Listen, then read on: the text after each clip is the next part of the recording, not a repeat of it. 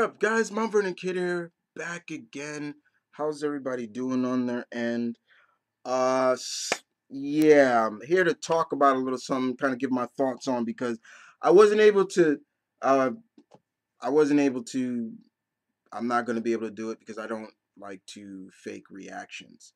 Uh, you guys are probably asking, where's the reaction to Geese Howard in Tekken 7? Well, like I said, guys, I don't like to re re react my reactions. They one shots, bam, that's what you get.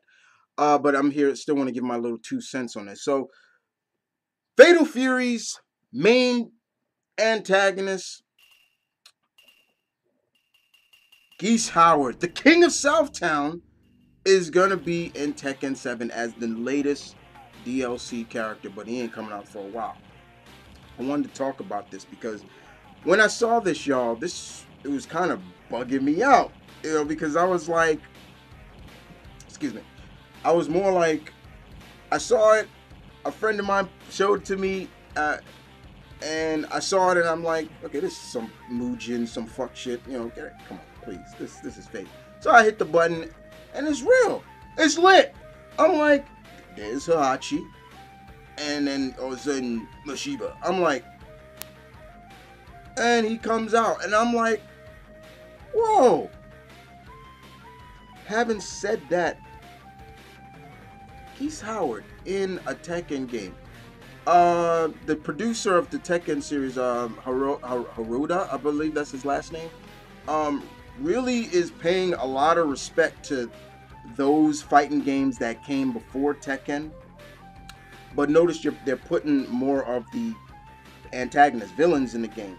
You know, but Geese is a very important character. You know, he's always been very important. He was the main protagonist in the first Fatal Fury.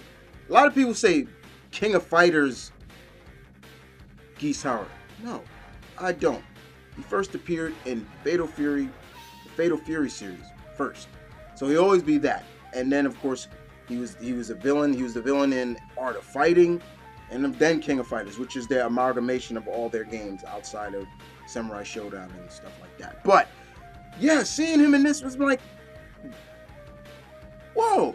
And he's got all his moves. I was like, th- those are probably the biggest thing. Is like when you got characters that got projectiles and everything like that, ground attacks.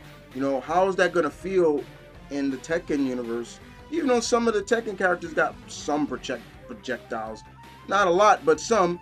And you see him, he's doing his Reppuken, double Reppuken. And then of course I was like, he better have it. And let you know, Raging Storm. I was like, yeah, he did it. So yeah, it, it, it's really good to see, and I'm glad to see that that that they are paying respects to that classic SNK fighter, which I really wish SNK would do more with. You know, I've always said it. You know, I, I like SNK, play more, and I've always loved them you know, but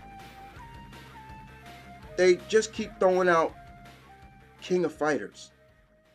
What about your other fighters?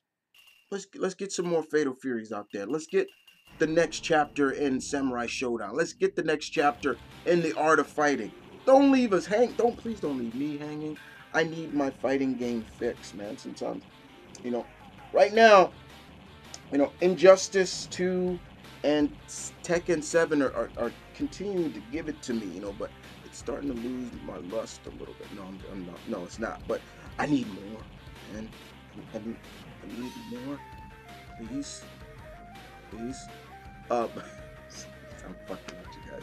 But no, um, yeah, man, this is great to see who's next. You know, but somebody probably going who's a long time like, but Chris, don't you don't like stuff like this? Okay, hold up. Hold up. I'll cut let me cut you off right there because I never said it couldn't work. Geese Howard could work in the Tekken universe. And if that's what this is implying, this that's that's this is great. But because Akuma had an intricate part in the story, this is not. But yeah, Geese can work, and to see him, the king of Southtown, uh, basically come in and saying like, "Hey, you're done, Mishima. It's your time is up. My time is now." You know, so I'm a takeover, and I like that. You know, I like that indeed. I can't wait to play with him. You know, uh, would have been even cooler. Would, know, a lot of people. I read a lot of people's comments said Rugal should have been in it. Rugal or uh, one that really made me smile a lot was saying Geese's half brother, Wolfgang Krauser. I was like, hell fucking yeah, I would have put Wolfgang in this too. Uh, but man, who's next? How many more DLC characters are we gonna get in Tekken 7? I'm down for this. I'm so down for this. The King of Southtown, Geese Howard, is in this. What if they put his son? I don't.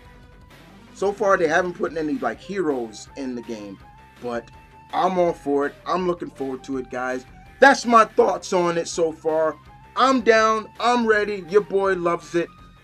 What about you? I'll see you guys next time.